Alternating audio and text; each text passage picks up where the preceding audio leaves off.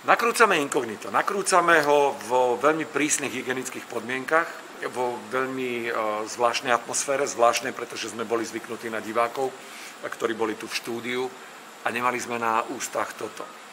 Uh, nakrúcame ho jednak aj preto, lebo chceme prinášať trošku do tejto atmosféry no, optimizmus, chceme, chceme prinášať zábavu a tak ako mnohí prinášajú informácie, ktoré nie sú zrovna lichotivé, tak my chceme byť protipol, protiklad. My chceme prinášať trošku tej zábavy a tak ľudovo nadnesene poviem, že sa tomu COVID-kovi 19 že sa mu tak trošku vysmejeme do očí a veriť tomu, že ten optimizmus, tá dobrá nálada, možno tá zábava a humor, že e, budú prostriedkom, ako, ako sa to dá zvládnuť celá táto situácia oveľa lepšie.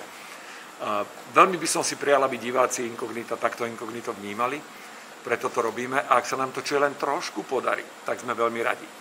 Držte sa, držím palce, držme si palce navzájom, pretože sme na jednej lodi, týka sa nás to všetkých a ja som si celkom istý, že už čoskoro, alebo teda veľmi skoro, tu budú opäť diváci, opäť budeme mať toto dolu a opäť bude všetko tak ako predtým.